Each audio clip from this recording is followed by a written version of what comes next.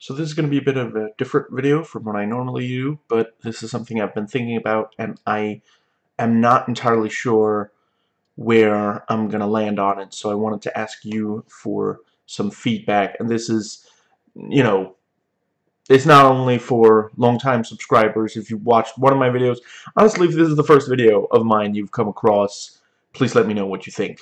But I am strongly considering changing the titling of my spoiler videos because I'm not sure if the word thoughts, which I've been titling them until now, is something that makes sense to enough people who aren't already familiar with my channel.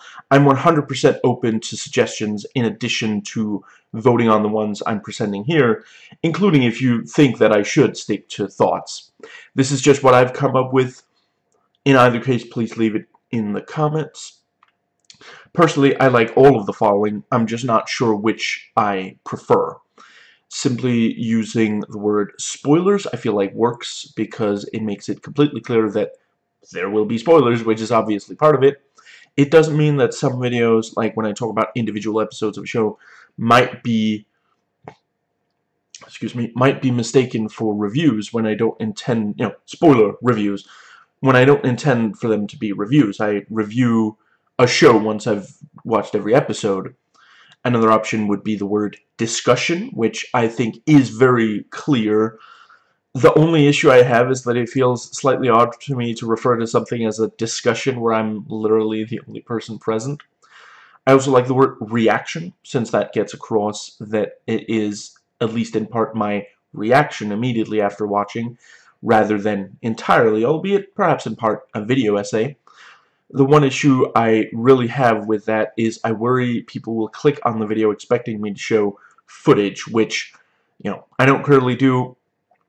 I don't really see myself starting to do that either.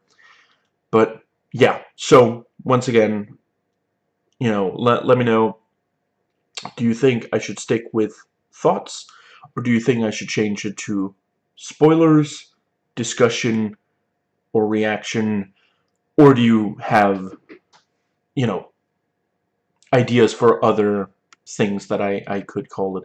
I am looking for, I, ideally I'd like it to be something relatively short.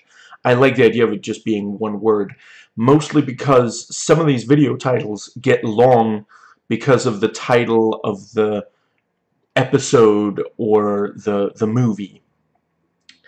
You know, I mean, I did a video on eternal sunshine of the spotless mind, then you don't also want to have to add, like, several words explaining what kind of video it's going to be, is my you know, rationale there.